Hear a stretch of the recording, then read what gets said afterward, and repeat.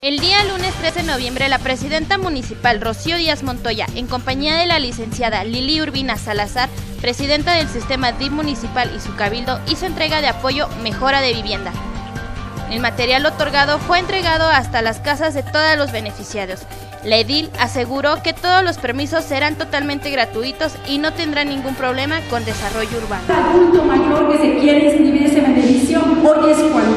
Ya lo pedimos aquí, empezó a llegar en Héroes, lo tenemos esta semana en Ojo de Agua, este miércoles, sería de este miércoles al próximo estaría, les parece, en este mismo lugar, para que todo el adulto mayor, a partir de las 9 de la mañana, van a estar aquí aperturando, para que todos reciban el beneficio.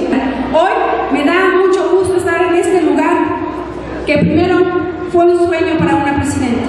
Un lugar en Casas Geo, donde me dieron la oportunidad de trabajar y decir, quiero hacer un parque, pero un parque con muchas características, con sus canchas deportivas, con sus juegos infantiles, con juegos también para niños con capacidades diferentes. Y hoy es una realidad.